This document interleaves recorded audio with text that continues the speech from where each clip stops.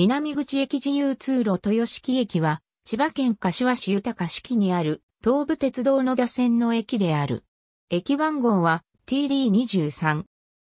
クリップ現代図に松戸市掲載の小金木を重ねた地図より、東駅周辺あたり駅周辺一帯は、明治時代に政府の命を受けた三井財閥系の開墾会社によって開拓された小金木13の地区のうちの一つで4番目の入植地となったため、豊か式の地名が付けられた。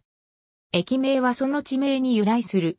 13の地区は、初富、二輪、三崎、五甲、六組、七栄、八街、九美城、十層、十四一、十四二、十四三の順に続く。また、駅名では、初富駅、二輪向台駅、三崎駅、五甲駅、六時駅、八街駅がある。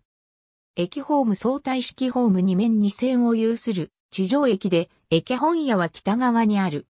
駅の南側へは、大宮よりまたは柏よりのそれぞれやや離れたところに、ある踏切を迂回する必要があったが、2003年2月にエスカレーターエレベーター併設の南北自由通路の完成、並びに南側の駅前ロータリーの整備が行われた。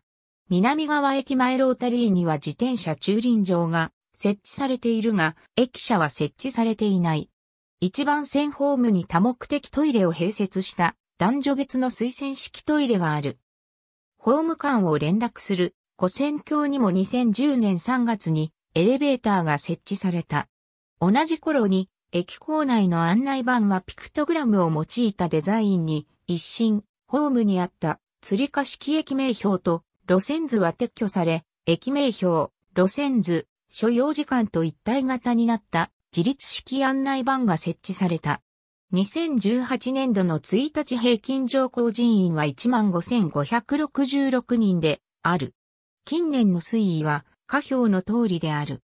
駅本屋がある北側を中心に小規模な商店街が形成されている。駅北側には千葉県道278号柏流山線、千葉県道279号豊式停車場港、田原線が走り、徒歩約12分程度の流山市小牧に、江戸川大学などの学校施設があるため、学生向けのマンションやアパートが多い。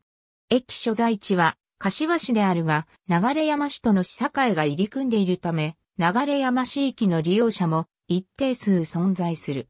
その関係で、駅前には、柏市、流山市の共同案内図のほか、流山市立図書館の返却ポストも設置されている。江戸川大学 JA 千葉統括、本店最寄り停留所は、南側の駅前ロータリーにある、豊敷駅南口で、流山グリーンバスが乗り入れている。